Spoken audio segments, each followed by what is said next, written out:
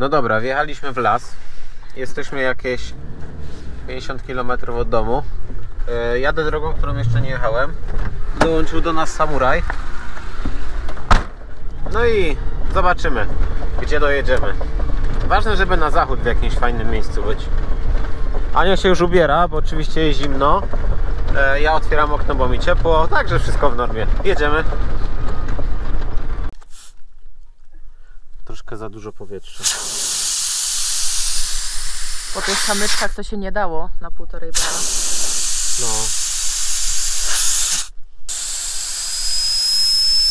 Ile zostawiasz? Z tyłu 0,6, a z przodu myślę 0,5.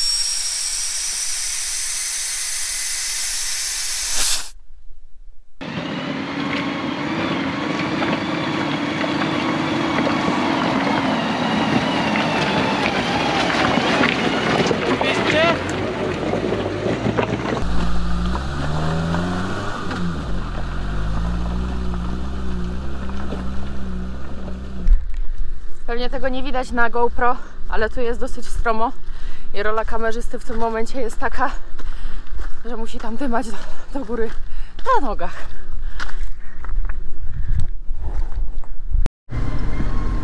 Nowe tereny i piękne widoki. Fajnie czasami się wyrwać gdzieś dalej od domu. W inne góry. O, znowu jakiś podjeździk. O kurwa. Wow. Dobra, turyści. Zaczekamy aż se przejdą.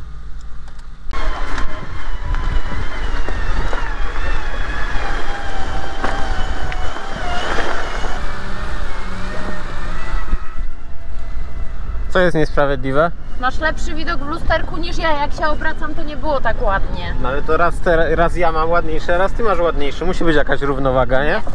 Nie? Ty masz się skupiać na drodze, Że zawsze jestem skupiony na drodze. a ja na widoczkach.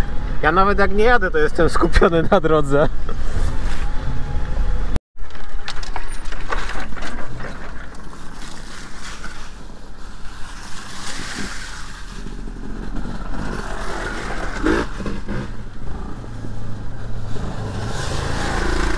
Jak widzicie w naszych górach nie tylko terenówki, także motory i kłady. Jest miejsce dla każdego.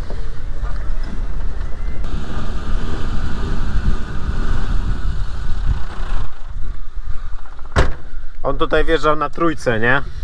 A ja na jedynce na pełnym gazie ledwo, ledwo. Także zwolnione przełożenia w terenówce przydają się.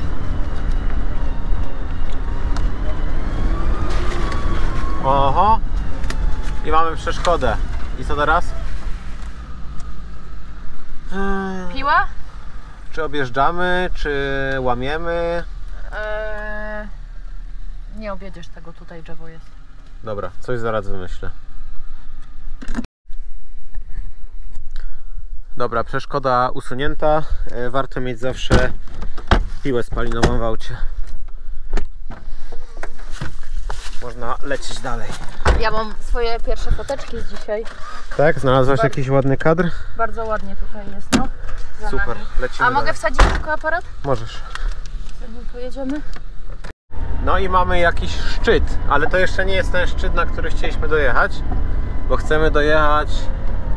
Widać Tatry, ale widać Tatry, ja pierdzielę. No super, a stamtąd też będzie widać, gdzie jedziemy. Ej, normalnie to jest niesamowite, jaka jest dzisiaj widoczność. I one przed zachodem powinny być ładnie oświetlone. No, No bo one już są zobaczymy. ośnieżone, widać to stąd.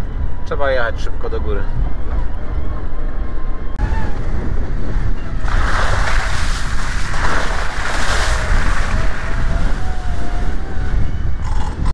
No i patrzcie, na chwilę się odwróciłem. Jimmy na tych gównianych oponach bez bieżnika przejechał, a samuraj co zrobił? A samuraj się wkleił. I tutaj nawet 33 cale nie pomogą. Pięknie.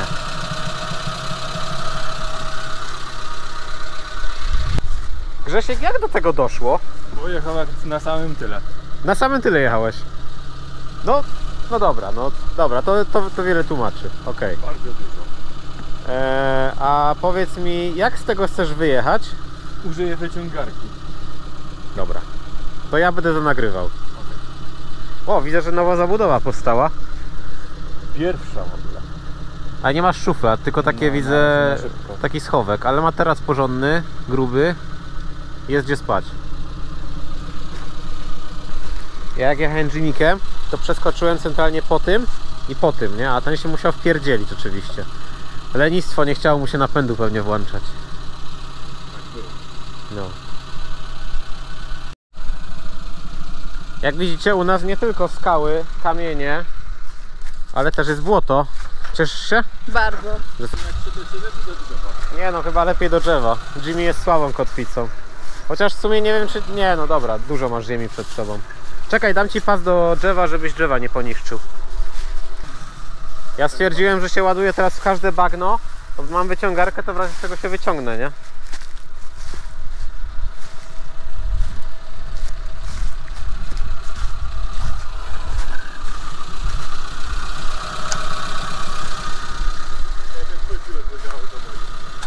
E, nie, nie będą działały.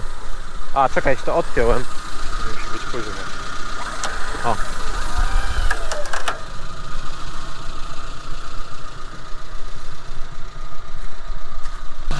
No, bez problemu.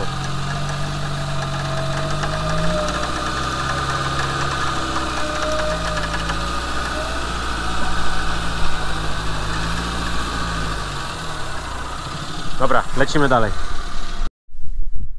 No i mamy miejscówkę na zachód słońca. Widok jest taki.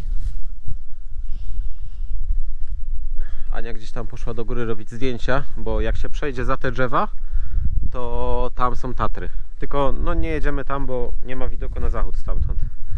Ale Ania pewnie zaraz coś tam zrobi. A ja w sumie jak się zrobi troszeczkę niżej słońca, to polecę dronem i może będzie widać te Tatry na panoramie. No zobaczymy. Jest tutaj bardzo ładnie. Na razie przerwa na piwo i zostajemy. Patrzcie co dostał Jimmy. W końcu mamy wyciągarkę i możemy jeździć się nie bać, że się gdzieś wkleimy i nikt po nas nie przyjedzie. A oprócz tego, że mamy wyciągarkę, to sobie wymyśliłem, że damy tutaj drugi akumulator. A więc jest druga bateria z tej strony, oryginalna jest z tej strony. E, tutaj też dałem sobie ten, tą puszkę z przekaźnikami od wyciągarki. E, no nie chciałem, żeby była na zderzaku, bo to potem nieładnie wygląda, mi się to nie podoba.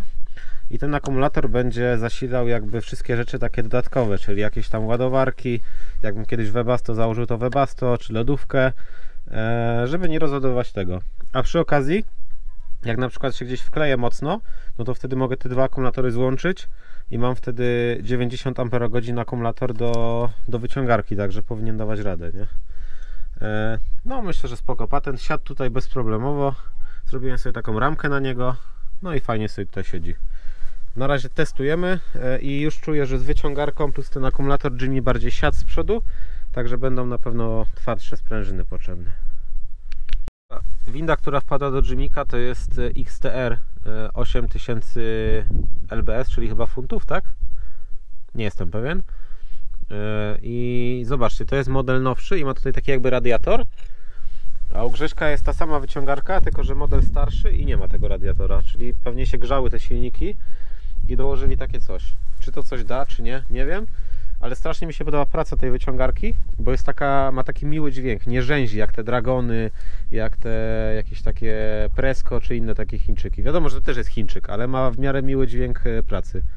I u kilku osób ją widziałem, wszyscy ją polecają, dlatego tutaj wpadła. A ty jesteś ze swojej zadowolony? Bardzo. Ile ją masz? 3 lata, 3 lata i żadnej awarii. zero awarii. I nawet się zdarza, że służy do zrywki drzewa z własnego lasu. No, no i pięknie. Czyli jak widać tania wyciągarka, bo jest faktycznie tania i daje radę. Zobaczymy jak się będzie sprawdzać w gymie. No, ale na pewno się o tym dowiecie.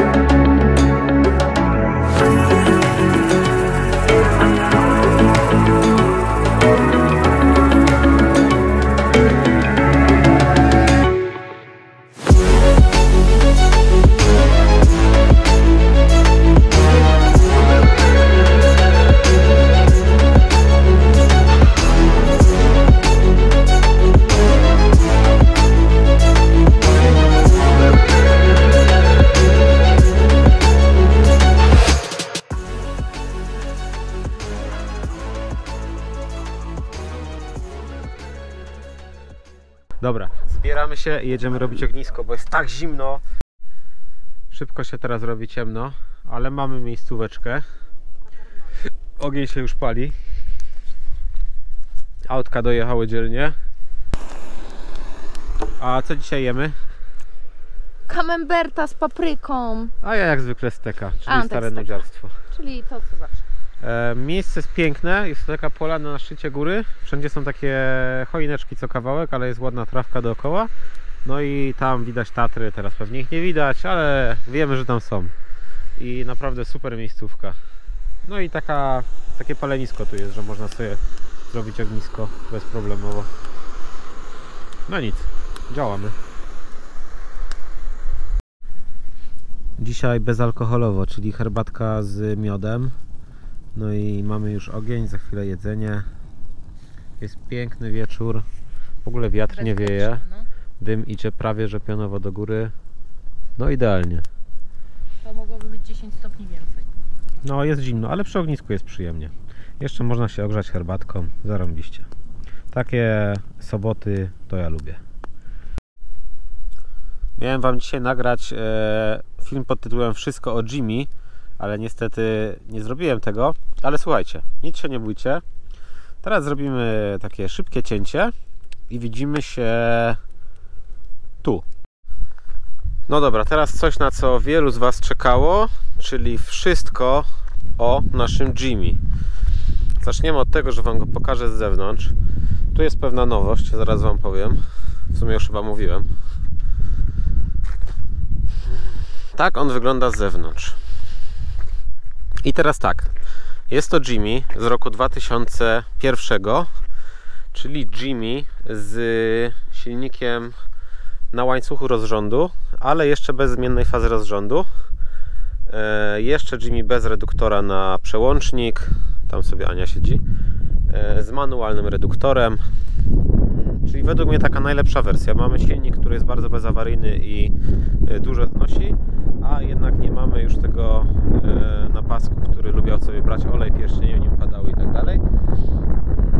Według mnie jest to taki najlepszy rocznik tego Jimmyka. Dlatego też taki wybrałem. Jest to Jimmy, który był przywieziony z Anglii. Była w nim zrobiona przekładka z Anglika. Niestety jak go kupiłem, to już to było zrobione i musiałem to wszystko poprawić, bo była tragedia. No i ogólnie e, zaczął jeździć. Od czego zacząłem? Zacząłem od tego, że założyłem mu sprzęgiełka manualne. Teraz nie widać, ale jest to firma AVM, czyli taki dosyć dobry produkt. Jak na razie żadnych problemów z nimi nie miałem, poza tym, że tutaj są te małe śrubki na Torxa 15 i nie można ich dokręcać za mocno, potem się ich nie da odkręcić. Trzeba potem wbijać Torxa na siłę, klepać po nich i dopiero da się to odkręcić.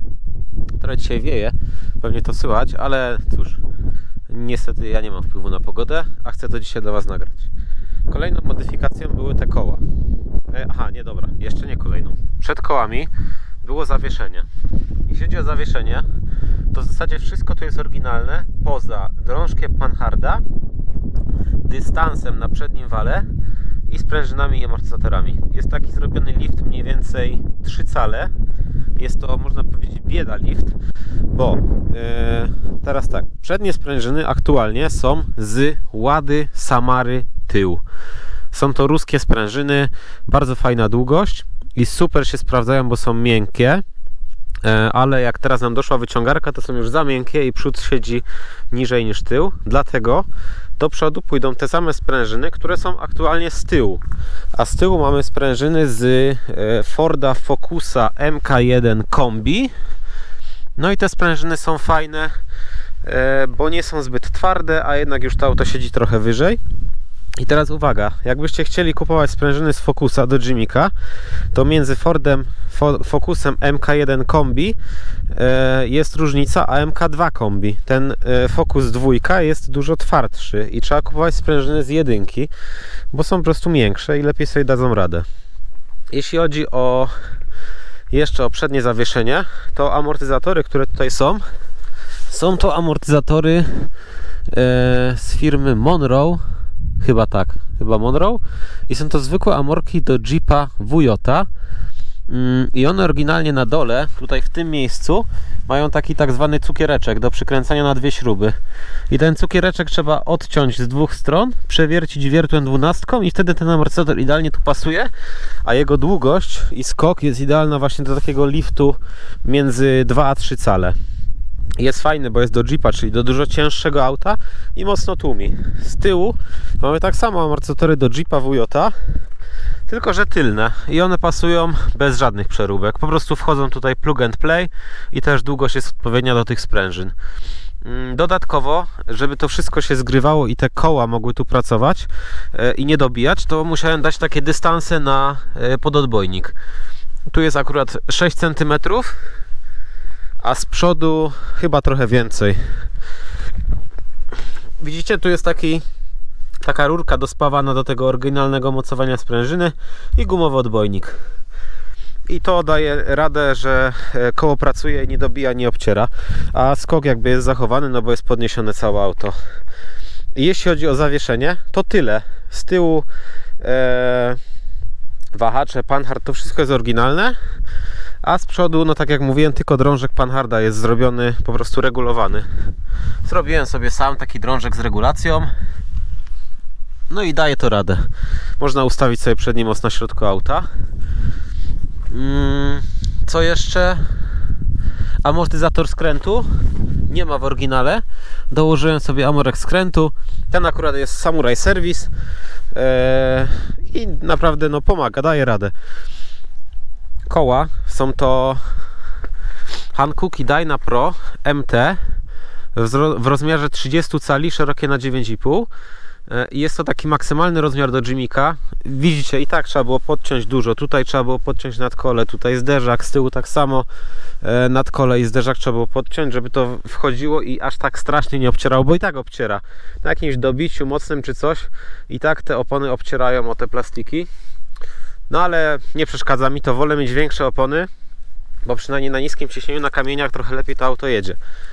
Ale jeszcze nad tym popracuję, bo dam może trochę dłuższe sprężyny, po prostu do przodu dam te same co mam z tyłu i wtedy to auto się podniesie, będzie mniej obcierało. Bo teraz z, wyciągarką, no to widzicie, że siadło całe. Jednak doszło trochę wagi.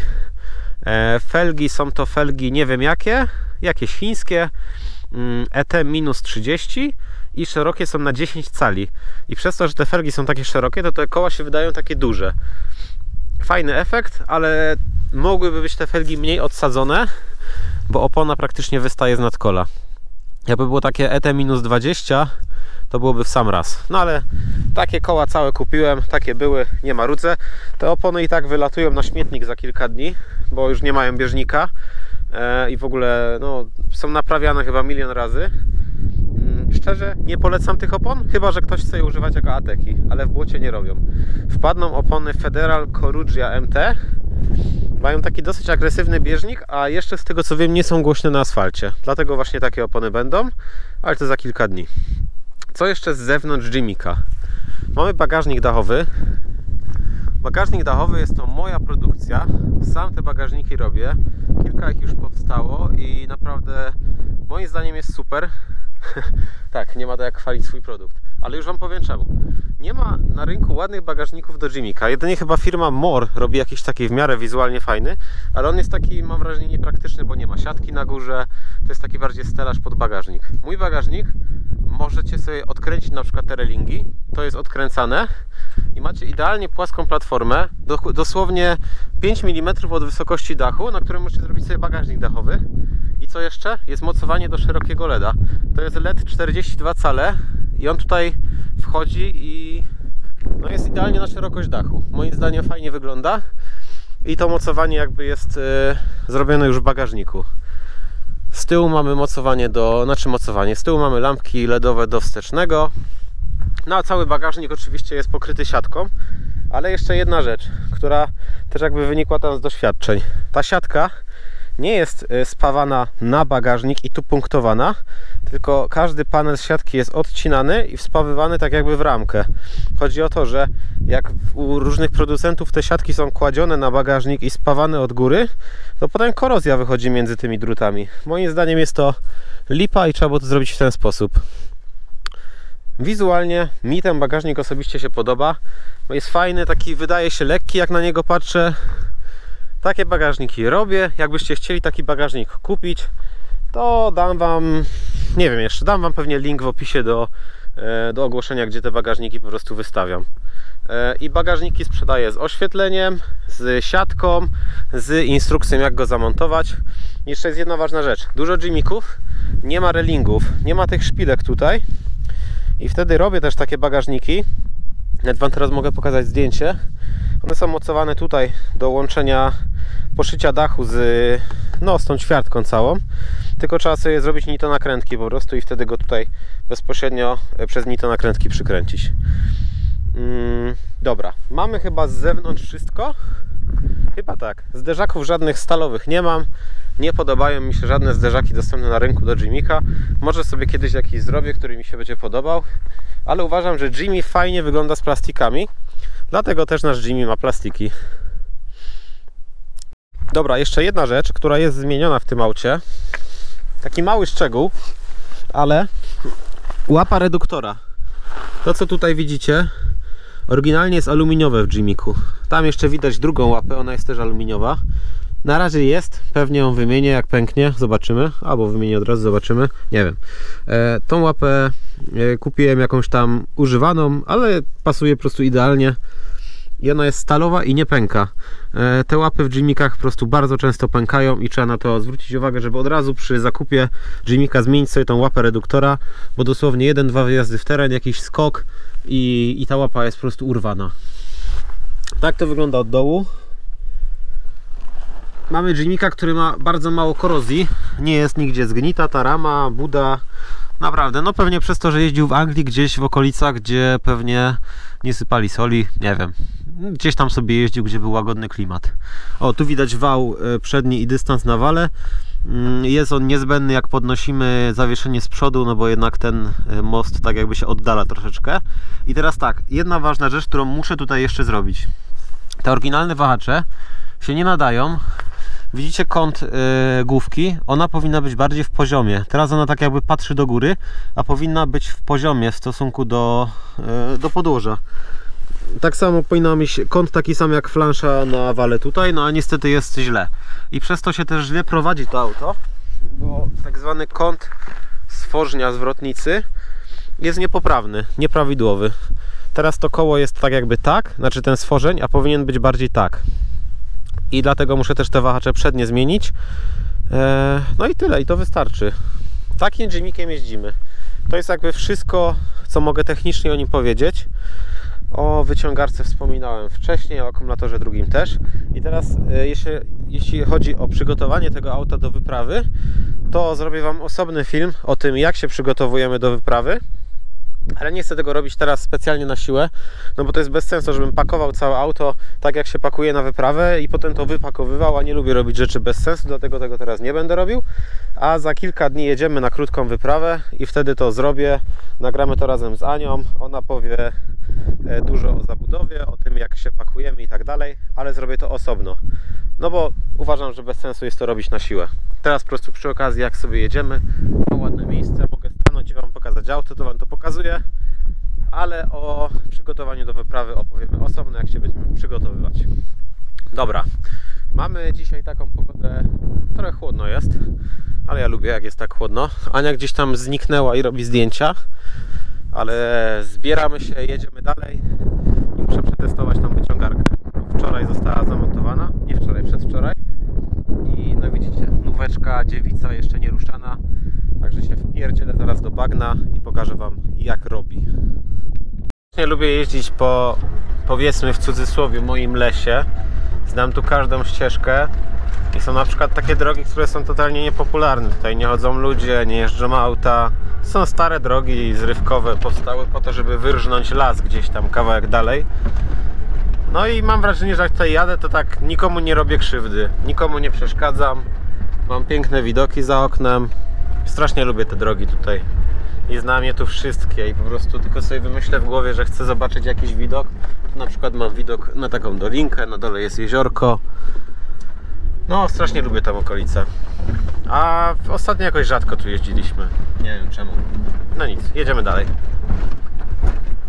Dzisiaj właśnie poz- jeb, poznawał przeszkody. E, można powiedzieć, że tutaj pełnię taką e, służbę e, Porządkową. porządkową, że na takich drogach e, również zajmuję się oczyszczaniem.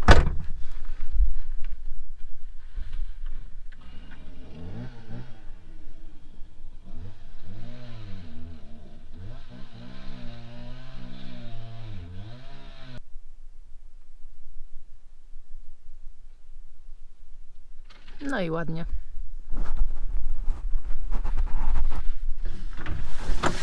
No i możemy jechać dalej. Piła spalinowa w terenówce przydaje się, szczególnie u nas. Ciekawa jestem, czy wyhamuje przede mną. Czy będę musiała uciekać.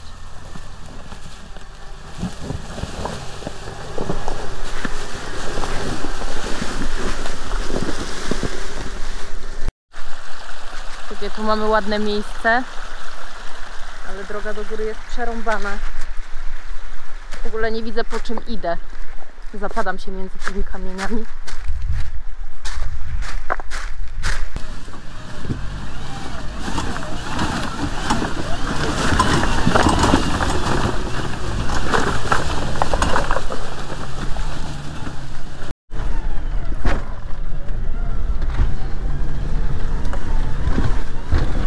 Mam taki plan.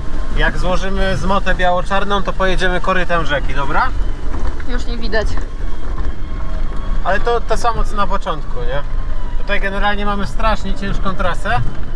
Jimmy tutaj no słabo sobie radzi bez zwolnionych przełożeń, ale najgorsze dopiero przed nami. Progu nie dotkło. Na oponie się zatrzymał. A jak do przodu spróbuję? Spróbuj. Zahaczy.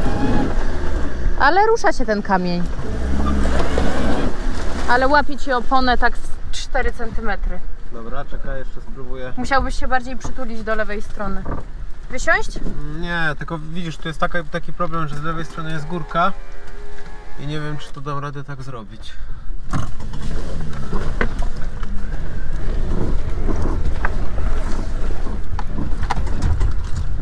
Przeszedł! Dobra, najgorsze przed nami. Z tego co pamiętam. Nie licz na stabilne ujęcia. Chociaż mam wrażenie, że przejechał tędy spychacz, bo kiedyś tu było więcej skał. Także może, mogę się, może się okazać, że to wcale nie będzie taki ciężki podjazd jak kiedyś.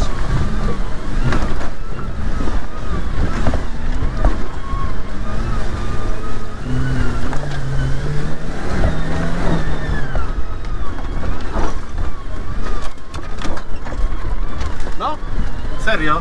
Największe skały zostały wyrwane. Nie ma ich na drodze, także luz.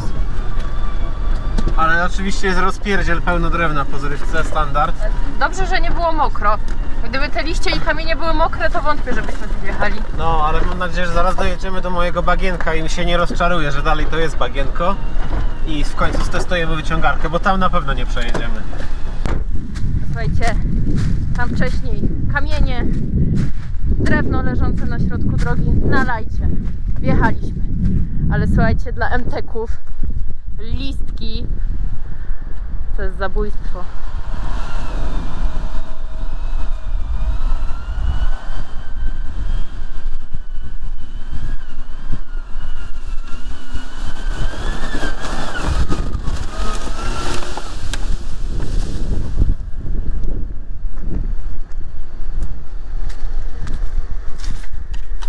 Mogłeś się nie zatrzymywać? Jak są listki, to trzeba po patrolowemu. Nie, bo tutaj jest więcej przyczepności, tu damy radę. Trzeba było na dwa razy to robić. Ale już jesteśmy niedaleko bagna. Jest mi smutno. Słuchajcie, tutaj rok temu było takie bagno, ale to takie bagno, Może jest pod spodem? że się tak wkleiliśmy tutaj samurajem, że nie było opcji stąd wyjechać, a najlepsze jest to, że nie ma tu zasięgu. I Antek musiał... No dobra. Tu dalej jest to bagno, tylko nie ma wody. Patrz, daj mi kamerę. No dobra, ale zobaczcie, wygląda normalnie jak droga. A tutaj myślę, że jest pół metra bagna. Tak, chciałam skończyć historię, że ym, Antek musiał łazić tutaj i szukać zasięgu, żeby ściągnąć kolegę, który nas stąd wyciągnie. E, Konrada, pozdrawiam Cię, jeśli to oglądasz. E, tutaj właśnie jest ta miejscówka, co mnie zapinałeś. Spędziliśmy tu dwie albo trzy godziny. Tak, i czekaliśmy aż przyjedzie po nas po prostu Konrad. E, i, no ale uratował nas. A teraz się, mam nadzieję, uratujemy sami, bo mam w końcu wyciągarkę. Dobra, działamy.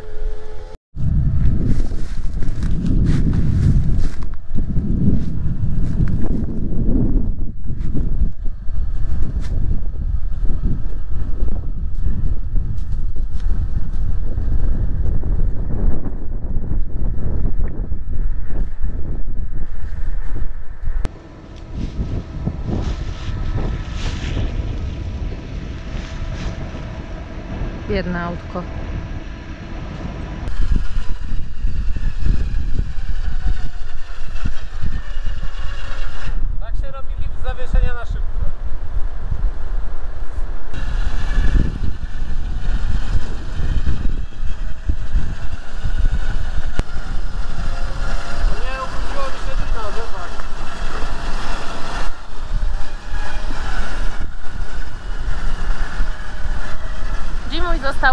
Został ślimaczkiem.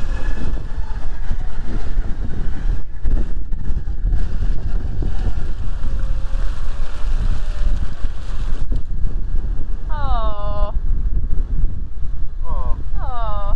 czekaj, nagram sobie na Instagrama. Jakbyście chcieli zobaczyć nasze relacje takie bardziej na żywo, to macie na dole pod filmem linki do naszych Instagramów. I tam można zobaczyć takie filmy z pierwszej ręki. Na przykład takie jak teraz. Koło w prawo.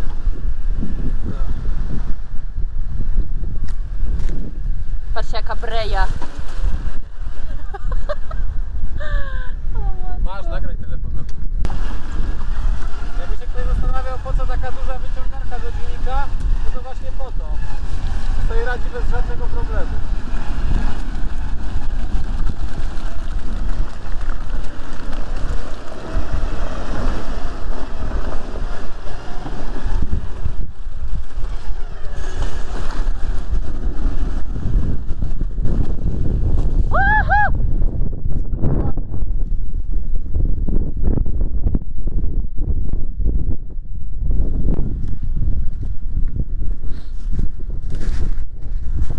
No, teraz widać, że to jest na chyba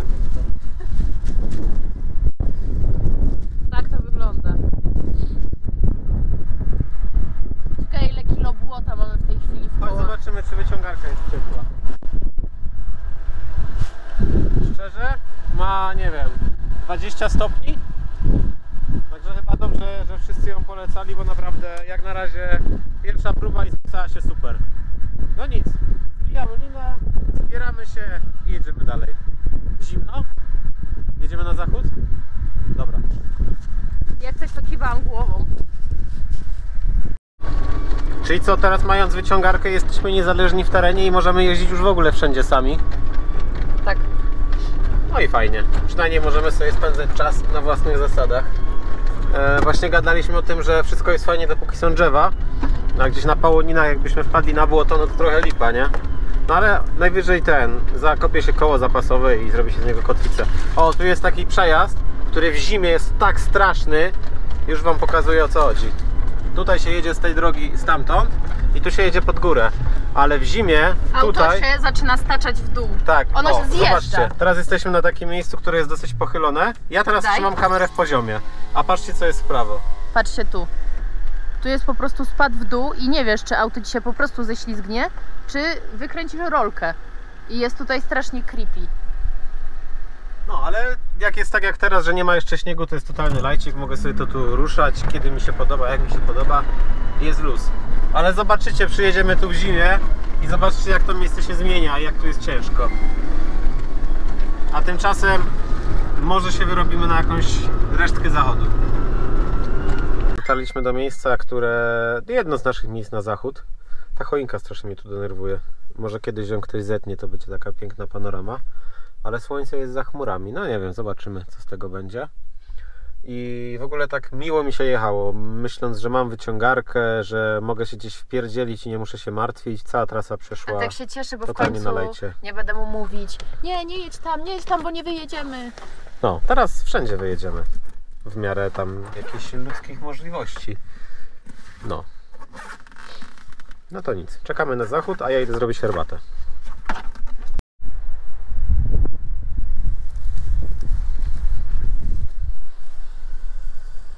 Tym razem mamy garnek, także jest postęp, jest profesjonalizm. No i taki mamy widoczek. Ładne miejsce.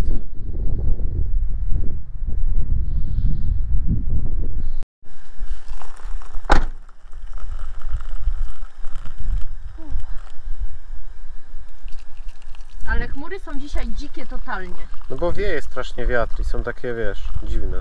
No.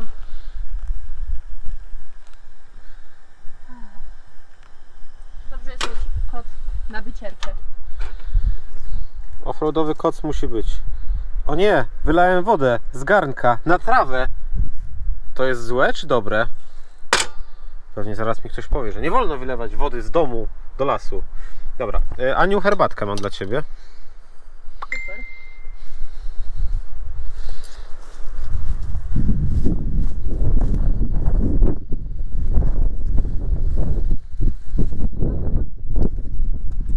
Ja dam Ci tu przez te krzaki. E, Chwyć za to, bo jest gorące. Czekaj. Bardzo dziękuję. Proszę. Faktycznie nie urwaliśmy progu. Dziwne.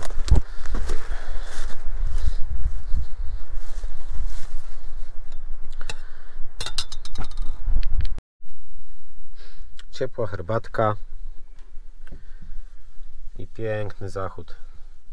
E, Ania uważa, że na zdjęciach ani na filmie nie będzie tego widać, jak jest ładnie, że te chmury, że te inaczej, że jak to było? że aparat tego nie uchwyci, tak? Ale mi się wydaje, że jest pięknie i mam nadzieję, że to widzicie przez tą brudną szybę w dżiniku.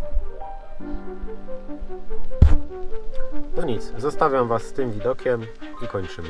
Trzymajcie się. Pa! Pa!